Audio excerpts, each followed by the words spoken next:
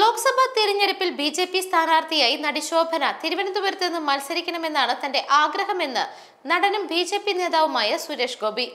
ഇതുമായി ബന്ധപ്പെട്ട് ചർച്ചകൾ നടന്നതായും സുരേഷ് വ്യക്തമാക്കി.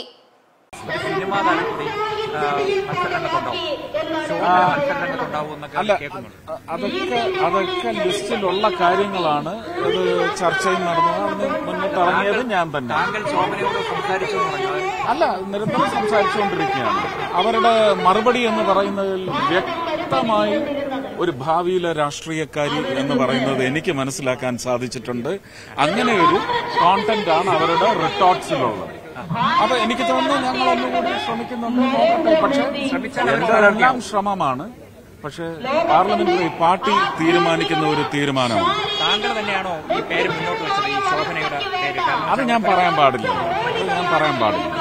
അങ്ങനെ നമുക്ക് ക്രെഡിറ്റ് എടുക്കാൻ വേണ്ടിയല്ലല്ലോ. കേട്ടില്ല കേട്ടില്ല. മോദി ആര് ശക്തമായി നേരിടുമെന്നതാണ് ഇവിടെ ഇടതുപക്ഷവും കോൺഗ്രസും തമ്മിലുള്ള മത്സരം. ജനങ്ങളാണല്ലോ? ഇത് ഇടതോ വലതോ അല്ലല്ലോ ഇതൊന്നും തീരുമാനിക്കുന്നത്. ഇത് ഇടതും വലതും അല്ലല്ലോ തീരുമാനിക്കുന്നത്. ഇത് ആര് തമ്മിലാണ് പോരാട്ടം എന്നൊക്കെ നമുക്ക് വീരവാദം മുഴക്കാം.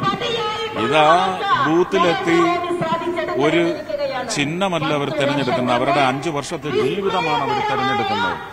അവിടെ സമ്മതിദായകൻ അല്ലെങ്കിൽ സമ്മതിദായിക തീരുമാനിക്കുന്ന തീരുമാനത്തിന് വേണ്ടി നമുക്ക് കാത്തിരിക്കാനേ പറ്റൂ.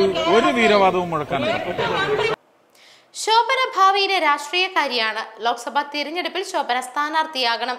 തിരുവനന്തപുരത്ത് നിന്ന് അവർ മത്സരിക്കണമെന്നാണ് ആഗ്രഹിക്കുന്നത്. ഇതുമായി ബന്ധപ്പെട്ട് ഞാനും കേന്ദ്ര നേതൃത്വവും അവരോട് സംസാരിച്ചിരുന്നു എന്നും സുരേഷ് ഗോപി വ്യക്തമാക്കി.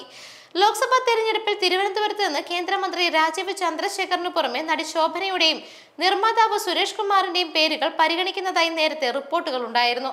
പ്രധാനമന്ത്രി നരേന്ദ്രമോദി പങ്കെടുത്ത തൃശൂരിലെ ബി ജെ പി വനിതാ സമ്മേളനത്തിൽ പങ്കെടുത്തതോടെയാണ് നടി ശോഭന ബി ജെ പിയിലേക്കെന്ന അഭ്യൂഹം ഉയർന്നത് ഇതിനു മുൻപ് ഇത്ര വലിയ വനിതാ സംഗമം കണ്ടിട്ടില്ല എന്നും മോദിയുടെ നേതൃത്വത്തിൽ വനിതാ സംവരണ ബിൽ പാസാക്കിയത് ഒട്ടേറെ സ്വപ്നങ്ങൾ യാഥാർത്ഥ്യമാക്കുമെന്നും ജനുവരി മൂന്നിന് നടന്ന സമ്മേളനത്തിൽ അവർ പ്രസംഗിച്ചു.